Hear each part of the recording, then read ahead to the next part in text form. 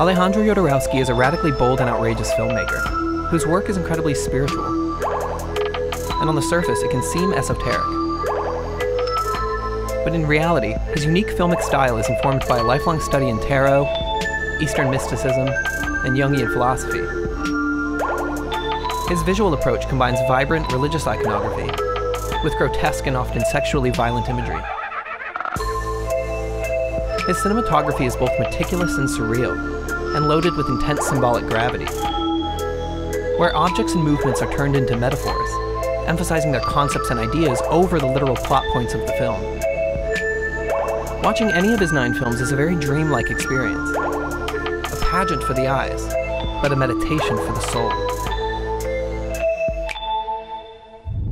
And they all feel like they kind of exist in the same universe, this strange circus like reality, where everything is exaggerated and hyper coordinated. It's a feeling I sometimes get when I watch Kubrick, or Lynch, or even Wes Anderson. It's the meticulous calculation and attention paid to the spatial arrangement of objects. It invokes the feeling of an omnipresent designer, a sort of all seeing eye.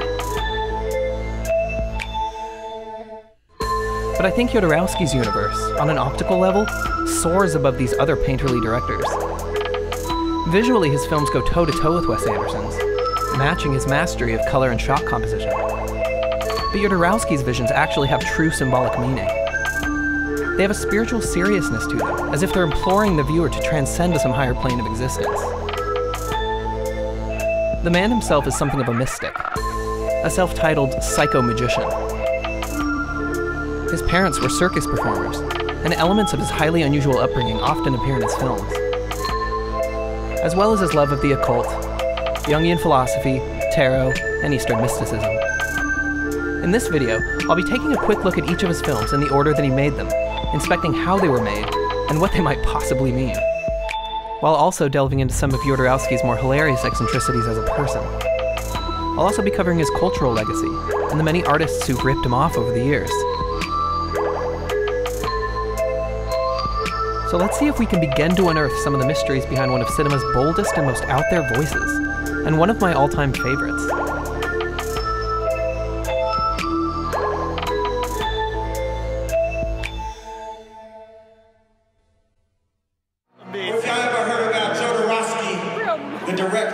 Am the father of the midnight movies. Jodorowsky was born in Chile in 1929, whereas I'm sure you won't be surprised, he worked as a mime. But he was really good, and at the young age of 18, he founded his own theater company. He wrote his own plays, and his troupe performed across the country of Chile.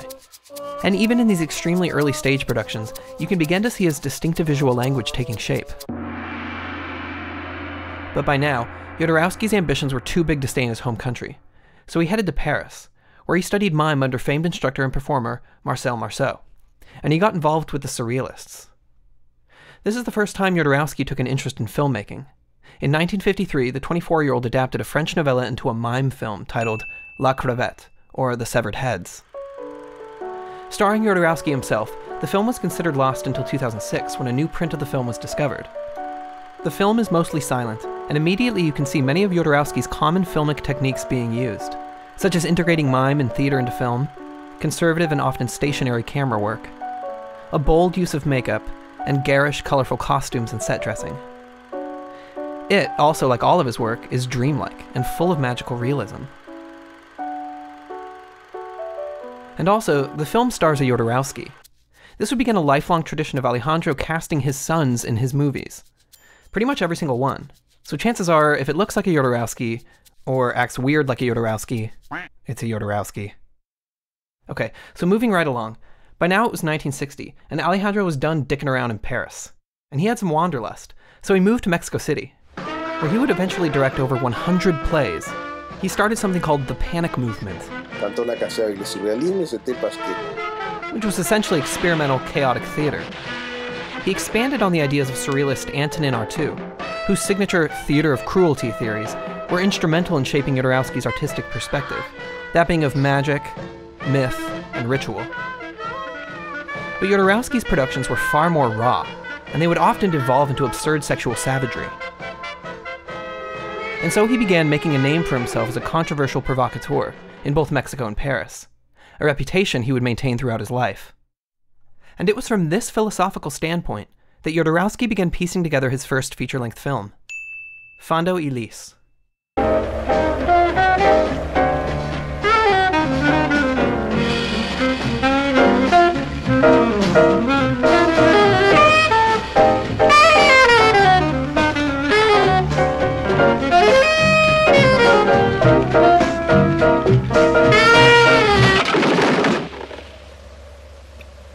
Le jure qu'on l'a donné, on a voulu vraiment.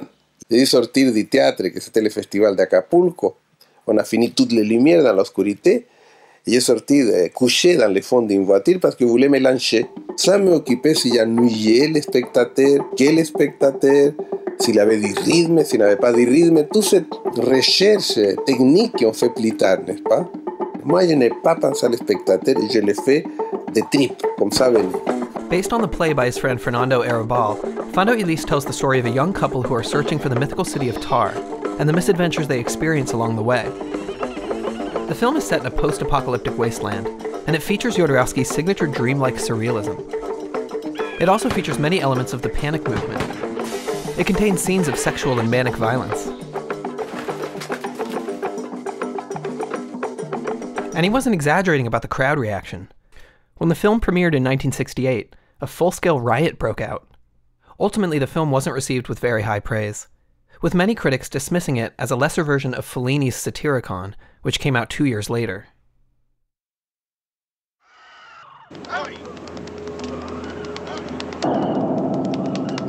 Yeah, that's a film for a different time. Anyways, after the controversial release of Fando y Lis, Jodorowsky met Zen Buddhist master Ejo Takata, and Alejandro became a kind of spiritual disciple of his, spreading the gospel of transcendental meditation and Zen Buddhism. This influence would be seen in all of his subsequent work, and it was in his next film that we would see the confluence of all the phases of his life up until that point from mime to panic to Zen. And this is why many consider it to be his finest work.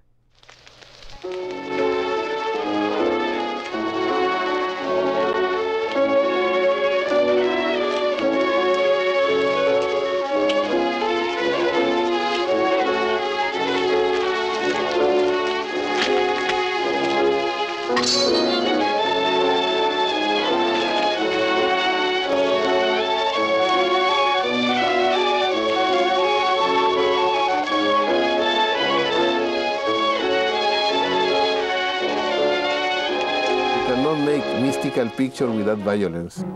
Terrible scene, beautiful thing go together.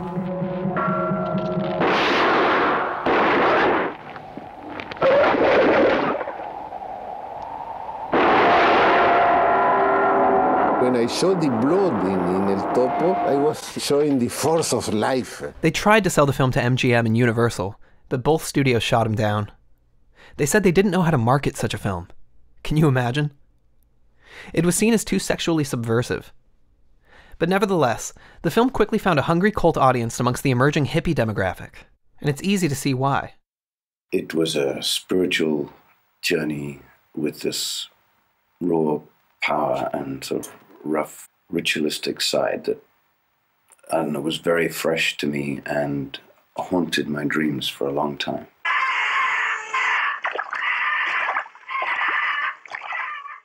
Often described as an acid western, El Topo shares a reputation with David Lynch's Eraserhead as being the first midnight movie.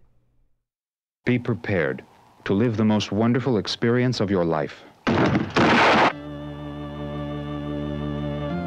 El Topo is not a Western. It goes far beyond any Western.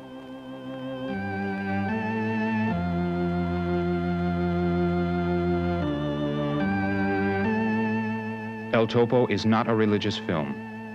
It contains all religions.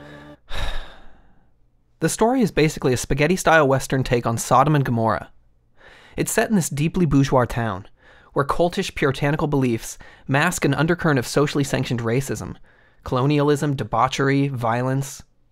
This is the film that basically put Jodorowsky on the map in the American art scene. And it was his first to receive critical acclaim.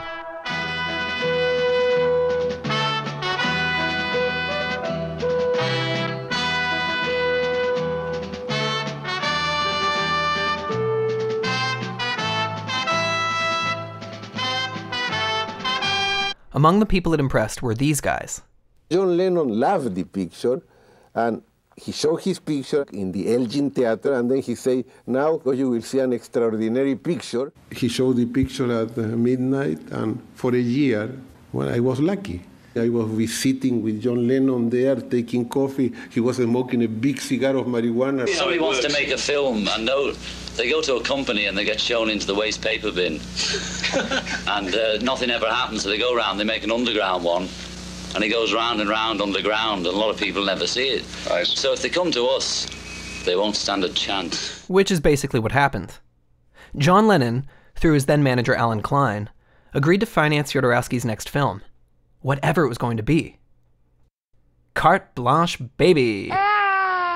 And this is exciting because it brings us to my favorite of his films.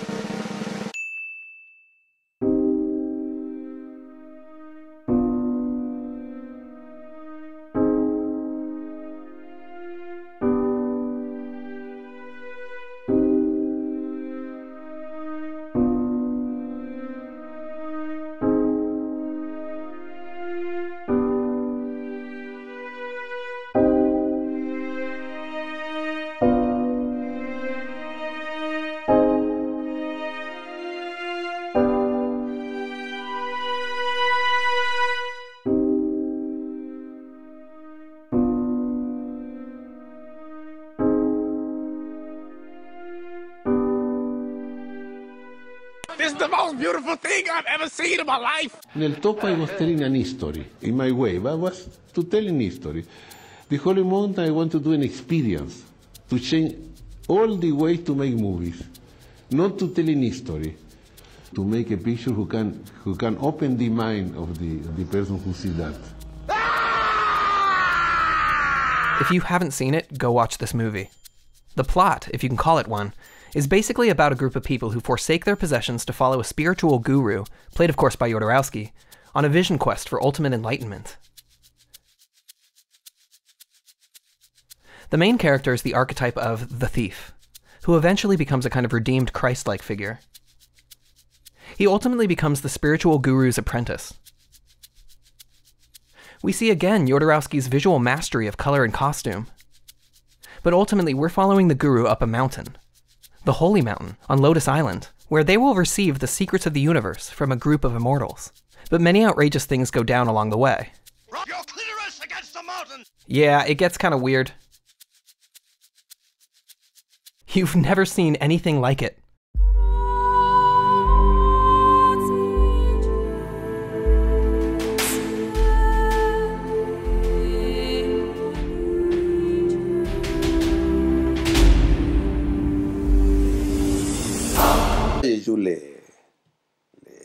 Les, les mais aussi j'ai joué les voleurs, parce que les voleurs à ma voix.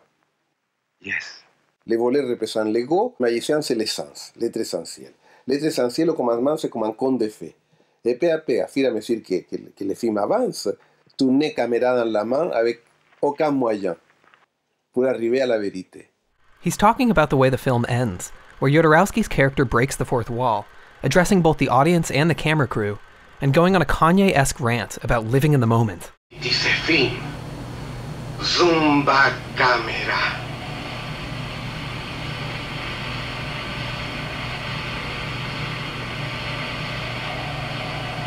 We are images, dreams, photographs.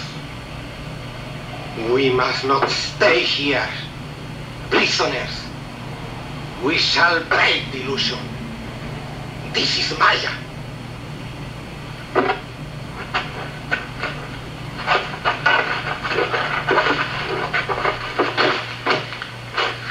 Goodbye to the Holy Mountain. Real life awaits us. I've just never seen a film that does that, that creates such an immersive, unusual world, and then ultimately exposes the creation of that very world as a construction.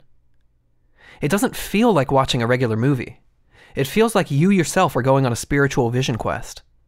It requires your participation, for you to examine your own interiority. It's a movie that kind of gets tattooed onto your brain.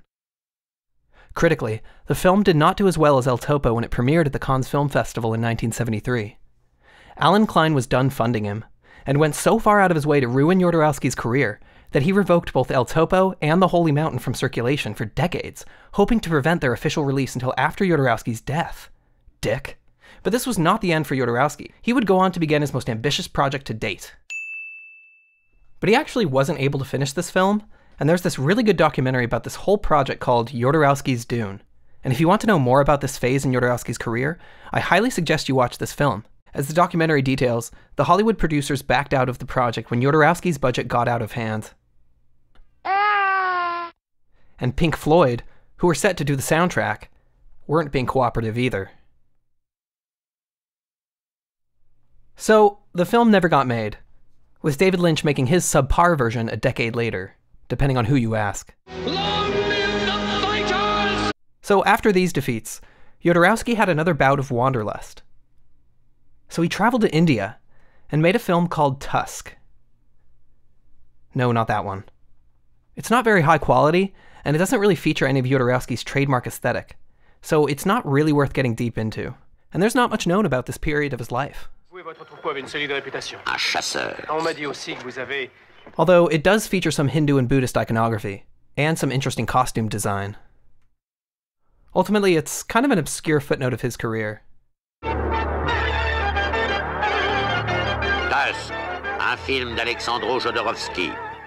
By now it was the late 80s, and Jodorowsky was well into his middle age. And over the years, people began to go back and reevaluate his older works.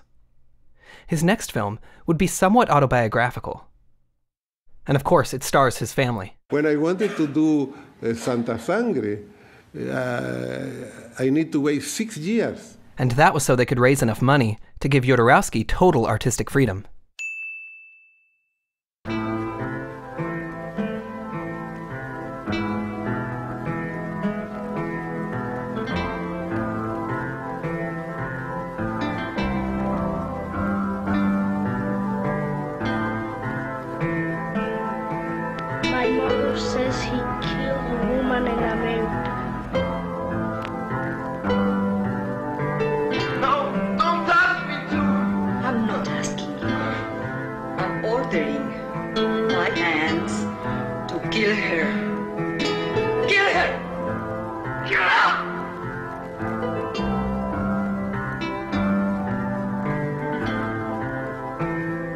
Yeah, it's a great movie.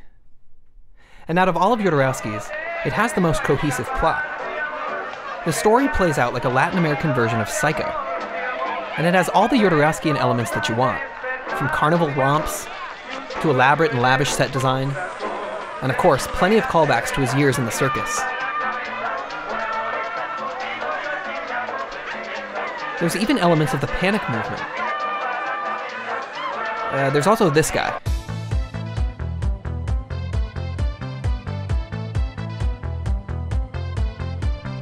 The story follows Phoenix, played by Axel Jodorowsky, who we meet in a mental asylum.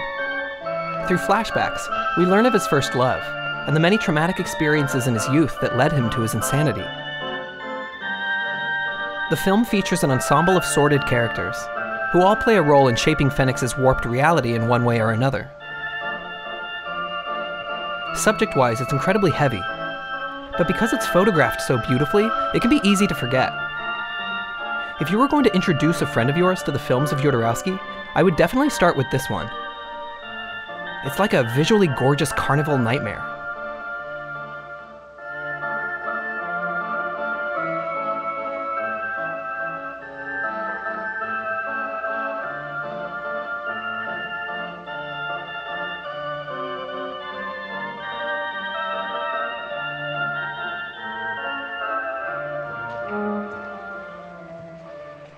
Released in 1989, Santa Sangre was received much more positively than his last several films, and returned Jodorowsky to the cultural conversation.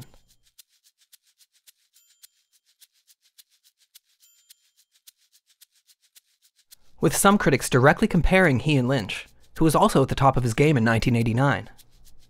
And it does kind of feel like a David Lynch film at times. Santa Sangre is right up there with The Holy Mountain in my book, and I always debate which one is a better watch.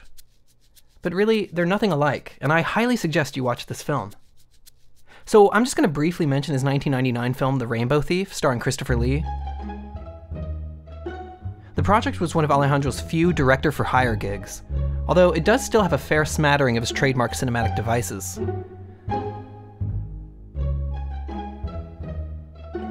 This film also stars Peter O'Toole and Omar Sharif, who, together with Christopher Lee, are the biggest name actors Jodorowsky had ever worked with. It's pretty silly, and it's the funniest of Jodorowsky's films. So, we're almost at the end here, with only two more films to go. But before we wrap up, I want to briefly mention this guy. Kanye West has often cited Jodorowsky as one of his influences, and there's a hilarious story about the two of them meeting. You recently met with Kanye West. what was uh, your was impression? very surrealistic. I didn't knew nothing about Kanye West. but really, I don't know who he is. Now. The only thing they say, a rapper, a person who sing rap, they say me, speak you are a genius, and he inspires you, him, to make a show with about Jesus, and he's inspired by the Holy Mountain. Fantastic.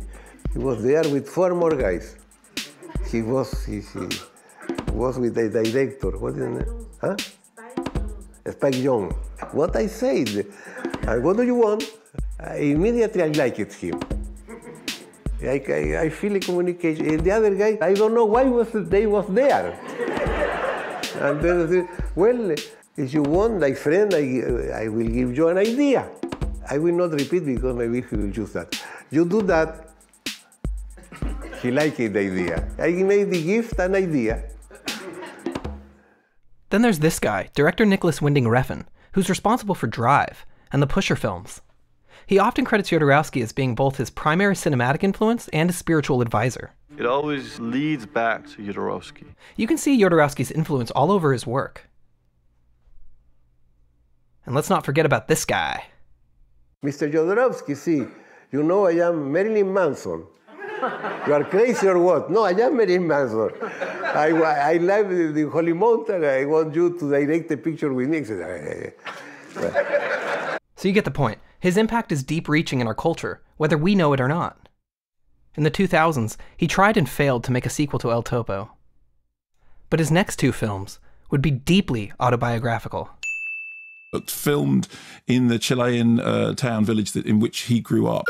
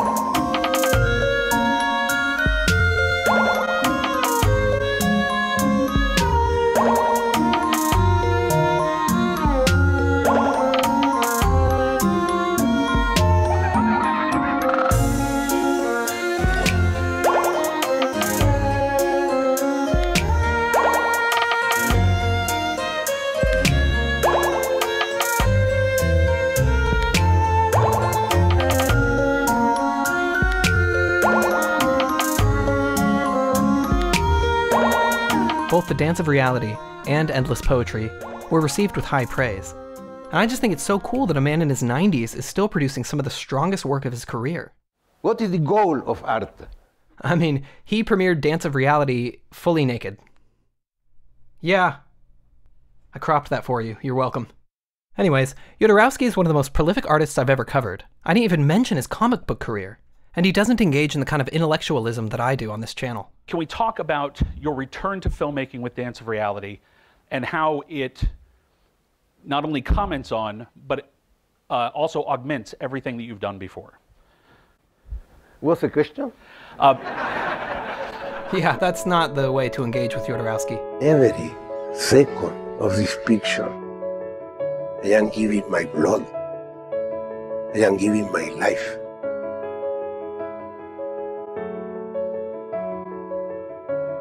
The passage can be changed. This is what is important. Making the cost, making the colors, giving color to a life who was gray from the beginning. Was the picture important for me? Yes, important. Change myself. Every one of us suffered. Every one of us. Every one of us will die. Every one of us. Everyone want to find himself a peace, a happiness. If I die tomorrow, it's my last will. But if I continue, it's my comeback. I will make I will make picture till I die.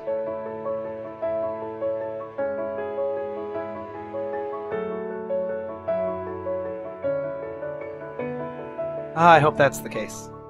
Well, I hope you learned something, and even if you knew about Jodorowsky, I still hope you learned something.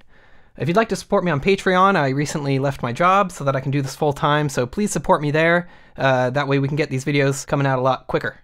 Uh, thanks, you guys, and uh, catch you next time.